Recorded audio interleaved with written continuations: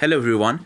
In this video, let's have a look at Resurrection Remix official ROM version 5.8.2 for the Moto X style or the Moto X Pure. So let's get started. As you can see, it is based on Android version 7.1.1. Moving on, this ROM has the most features that you will find on any custom ROMs.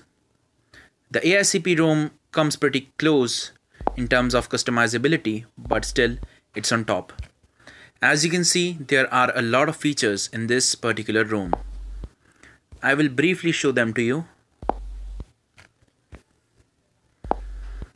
As you can see, there are a lot of options and it has all the customization that you really need. Side by side, I will also talk about the day-to-day -day performance and the battery life.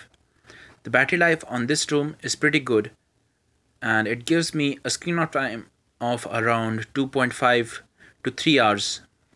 That is pretty standard on any Nougat ROM nowadays for the Moto X Pure or the Moto X Style, whatever you would like to say.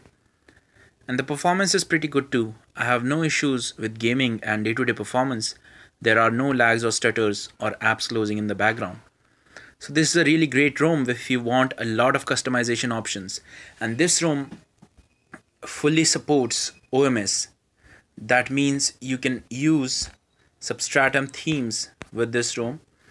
I have tried a lot of themes with this particular ROM and all of them worked perfectly for me. As you can see, there are quite a few rooms. So yeah, overall this is a pretty good ROM and I definitely think you should give it a try. That's it for this video. If you liked it, click on the like button and also subscribe to my channel for more such videos. Thank you and have a nice day.